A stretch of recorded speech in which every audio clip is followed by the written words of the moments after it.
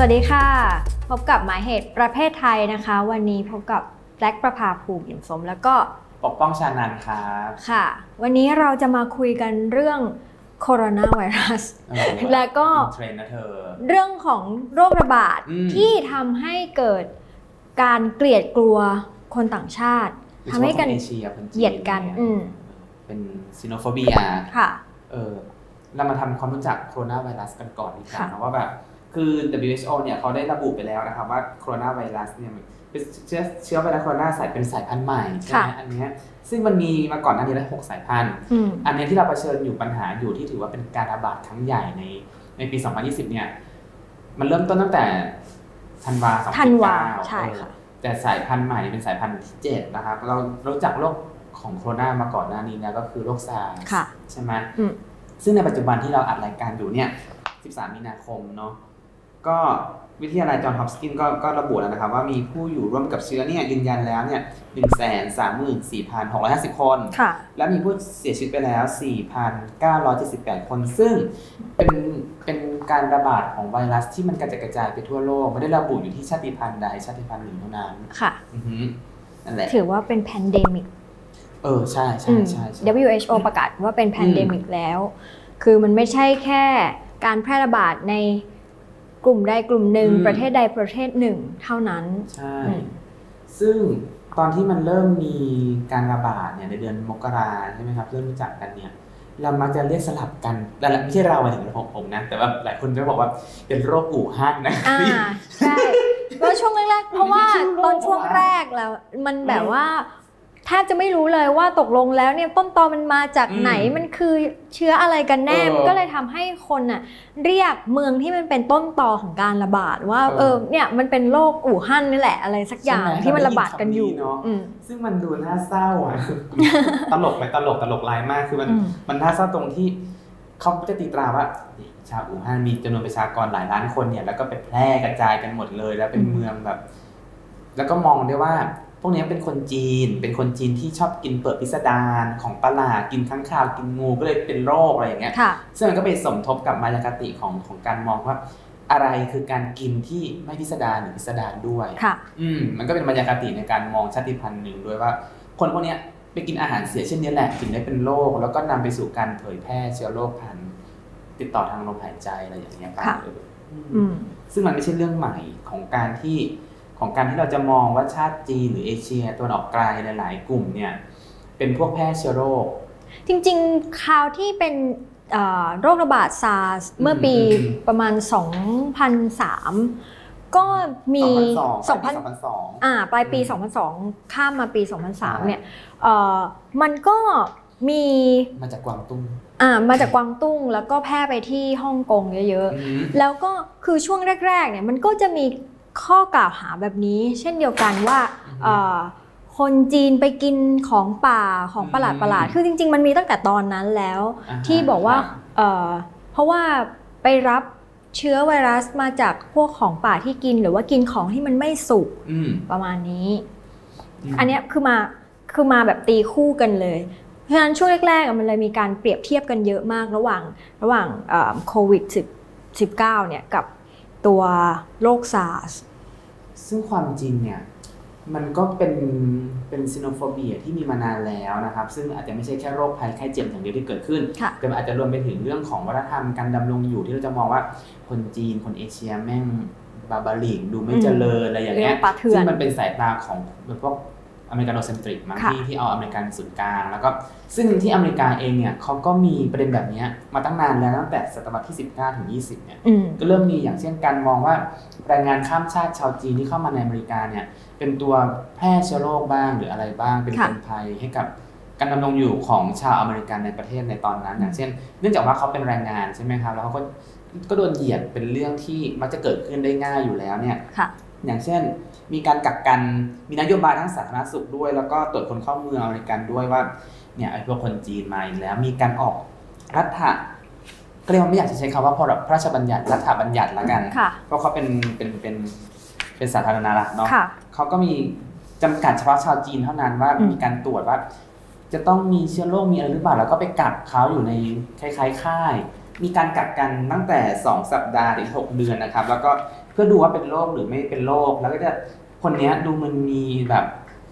สภาพร่างกายแข็งแรงไหมเพื่อที่จะส่งกลับประเทศหรือจะให้เข้ามาเป็นแรงงานด้วยนะครับ ซึ่งซึ่งอย่างเช่นในเกาะมันก็มีมีแรงงานชาวจีนเข้ามาที่ในเกาะแองเจิลของของซานฟรานซิสโกเนี่ยในปี 1910ถึง1940 เนี่ยนะครับ ก็กักคนญี่ปุ่นและคนจีนเอาไว้ถึง 2 2 5 0 0 5,000คนค่ะกักตัวในสภาพกดขี่อืมกดขี่จริงๆว่าสภาพมันคล้ายคุกมากนะครับ แล้วก็ ก็อยู่ไม่ดีอะถ้าเราเทียบกับสภาวะผีน้อยอะอืมที่ไปอยู่ในมุ้งอะไรอย่างนั้นเนี่ย สภาพไม่รู้ว่าอะไรแย่กว่ากันแล้วอาจผีน้อยจะแย่กว่าด้วยซ้ำก็ได้เลยกับภาพในในประวัติศาสตร์เนี่ยนะครับค่ะผมซึ่งมันก็มันก็แย่ด้วยแล้วก็การกักกันเนี่ยเพื่อตรวจเชื้อโรคหรือตรวจโรคภัยไข้เจ็บเนี่ยไม่ได้เป็นเพื่อรักษาสวัสดิภาพ หรือเป็นรัฐสวัสดิการให้กับแรงงานชาวจีนหรือชาวญี่ปุ่นที่เข้ามาทำงานนะครับ แต่ว่าเป็นการควบคุมโรคมากกว่าซึ่งซึ่งเป็นการมองเขาเป็นดูเหมือนแบบ พาหะนำโรคอือะมเอออืมอืมจริงๆ ถ้ามองจากตัวที่บอกว่าเป็นสถานีตรวจคนเข้าเมืองที่เกาะแองเจลเนี่ยจะคล้ายๆกับเอ่อเกาะคริสต์มาสของออสเตรเลียเหมือนกันแต่ว่าอันนั้นมันจะเป็นเอาไว้เอาไว้กับเอ่อเหมือนผู้ลี้ภัยผู้อพยพเนี่ยคือ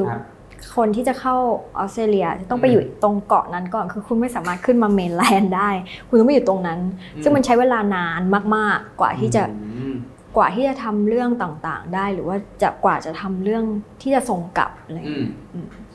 ซึ่งมันน่าเศร้าว่ะ ซึ่งอีรัฐบัญญัติเนี่ยของอเมริกาก็คือแยกคนจีนไม่ให้ปะปนกับพลเมืองในปี 1882เนี่ยนะครับ ซึ่ง เป็นการป้องกันแรงงาน เจาะจงชาวจีนโดยเฉพาะอาจจะมีชาติพันธุ์อื่นเข้ามาเป็นแรงงานในอเมริกาเยอะแยะมากมายเนี่ยแต่เขาก็ยังโฟกัสที่ชาวจีนโดยเฉพาะในมองในฐานะว่าเป็นพวกพาหะนำโรคค่ะทั้งการโรคบ้างทรพิษบ้างอะไรบ้างเนี่อืยมซึ่งซึ่งความจริงแล้วโรคภัยไข้เจ็บมันสามารถเกิดขึ้นได้ ไม่ว่าจะเป็นมนุษย์สัตว์เลี้ยงลูกด้วยนมที่ไหนก็ตาม แต่เขาจะไปโฟกัสที่จีนก่อนเสมออืมเป็นความเกลียดกลัวมันด้วยความที่เขามองเอเชีย คนจีนทั้งเอเชียไม่ว่าจะมีความหลากหลายชาติพันธุ์ไหนก็ตามเขาจะมองจีนเป็น เป็นเหมือนภาพรวมหมดของเอเชียด้วยแล้วก็จะแล้วก็จะมองว่าเป็นภัยโรคภัยไข้เจ็บเสมอเลยอะอืมอืมมันนำไปสู่ไอ้พวกคำว่าภัยเหลืองภัยแบบอ๋อเยลโล่ alert บ้าง หรือว่าเยลโล่ peril บ้างอะไรอย่างเงี้ยที่ที่มันเป็น yellow อะคนผิวเหลืองอะค่ะซึ่งมันน่าเศร้าอะอืมเราก็เหมือนกัน เราก็เหลืองเราก็เหลืองเชียแต่เราพักกันก่อนเนาะเออแล้วค่อยกลับมาคุยกันว่าภัยเหลืองที่ว่าเนี่ย มันยังมีภัยอะไรบ้างที่เกิดจาก Sinophobia ด้วยนะครับ แล้วก็ ถ้าเราเปรียบเทียบกันว่า Sinophobia มันสามารถไปเปรียบเทียบกับการมองอย่างอื่นเป็นโรคภัยไข้เจ็บได้ยังไงบ้างครับ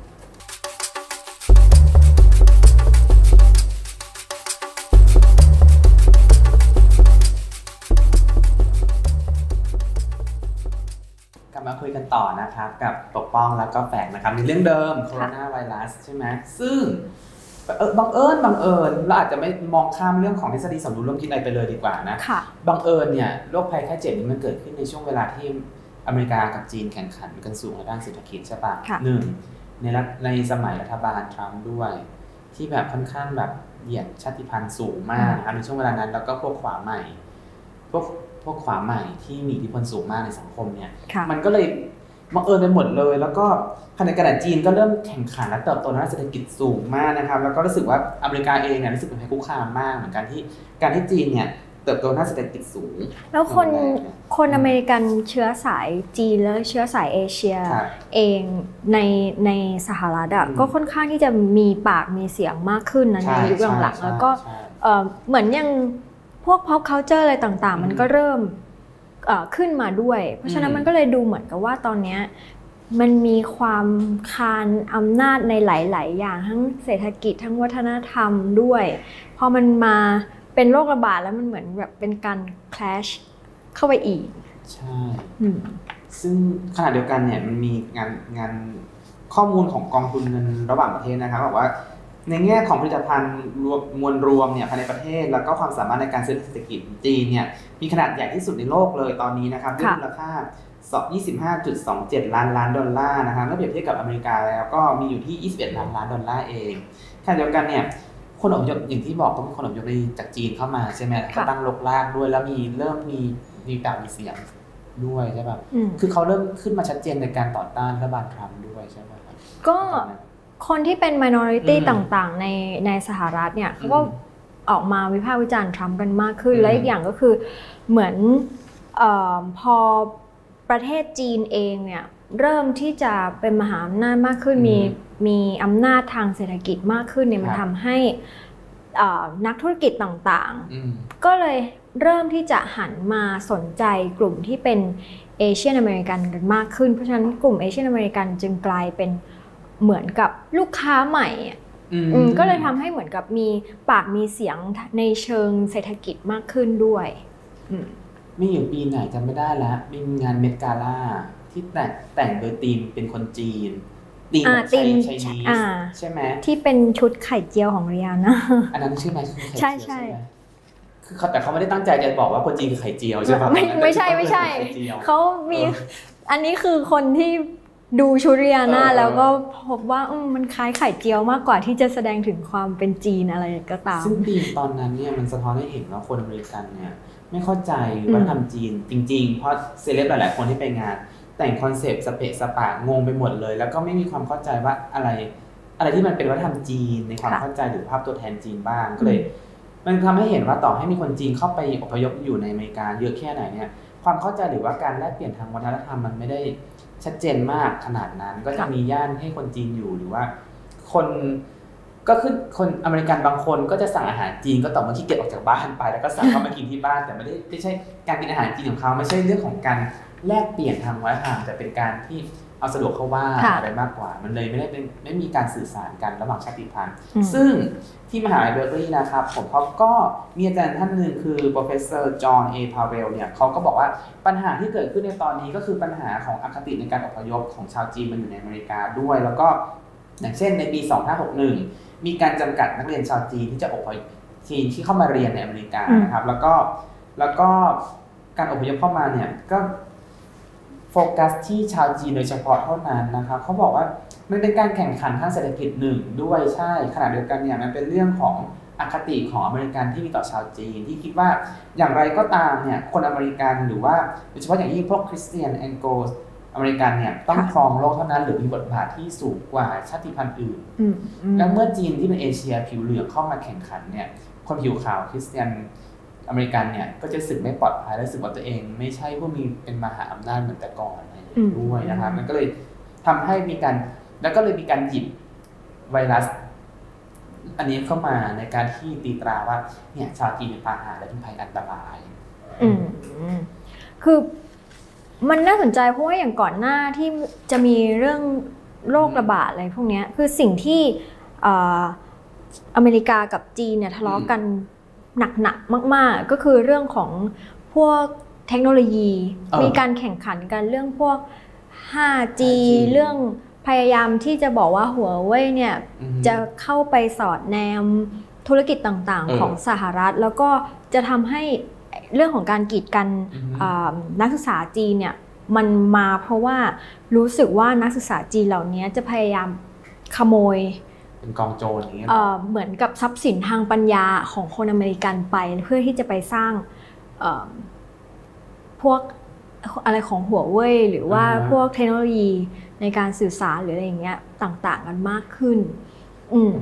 อืมแสดงว่าเหตุการณ์นี้มันก็เลยไปสมทบกับโรคภัยไข้เจ็บแต่เราแค่รู้สึกว่าพอ แต่พอมันมีโรคระบาดมาอืมแล้วเนี่ยมันอาจจะทำให้คนอเมริกันรู้สึกว่าอ่าเนี่ย เธอจะมาแข่งกับฉันพยายามที่จะมาแข่งเรื่องเทคโนโลยี แต่สุดท้ายแล้วเธอก็ยังเป็นพวกป่าเถื่อนอยู่ดีที่กินของป่าของอะไรอย่างเงี้ยของบริเออมันจะเป็นความของประหพลาดพยายามที่จะด้อยด้อยค่าอีกฝั่งหนึ่งอยู่ดี ซึ่งมันก็เป็น Sinophobia เนาะแต่ในกับในกับไทยเนี่ยมี Sinophobia ด้วยไหมมีอืมต่อให้คนจีนจะเยอะแค่ไหนก็ตาม แต่ปัญหาของไวรัสเนี่ยอันเนี้ยมันเป็นเรื่องของปัญหาของชนชั้นแล้วก็แรงงานหรือว่า การประกอบอาชีพมากกว่าว่ะคืออย่างเช่นคนที่ถูกนิยามเป็นผีน้อยเนี่ยต่อให้เขาจะไม่รับผิดชอบต่อสังคมแบบไปเที่ยวหลังจากหลังจากกลับเข้าไทยแล้วอะไรอย่างเงี้ยนี่คือปัญหาความรับผิดชอบอีกเรื่องหนึ่งที่เป็นปัญหาเหมือนกันอืมแต่ว่าสังคมไทยนะจะรู้สึกไม่ปลอดภัยและเป็นภัย รู้สึกว่าผีน้อยเป็นภัยมากกว่า ชนชั้นบางชนชั้น หรือว่าคนบางกลุ่มที่ไปเที่ยวต่างประเทศมา คือมักจะรู้สึกว่าคนที่เออเป็นชนชั้นแรงงานเนี่ยอืมจะไม่มีความรับผิดชอบต่อสังคมเออหรือว่าไม่มีความรู้มากพอที่อืมจะเอ่อ ปกป้องเขาเรียกว่าอะไรเอ่อพยายามที่จะดูแลตัวเองแล้วไม่ให้คนอื่นเดือดร้อนนี่คือความคิดของชนชั้นกลางคือในระดับหนึ่งไม่สนใจเพราะว่าปกท้องของตัวองเพราะว่าไม่สนใจเขาก็จะคิดว่าสังมหรอกถ้าคนที่เป็นชนชั้นกลางอืมหรือว่าคนที่เป็นชนชั้นสูงเนี่ยเออเขาได้รับข้อมูลมากกว่าเขามีความรู้มากกว่าอืมเพราะฉะนั้นเขาก็ควรจะดูแลได้มากกว่า แต่ถ้าเกิดว่าเราไปดูแล้วเราก็จะอืมพบว่าไม่จริง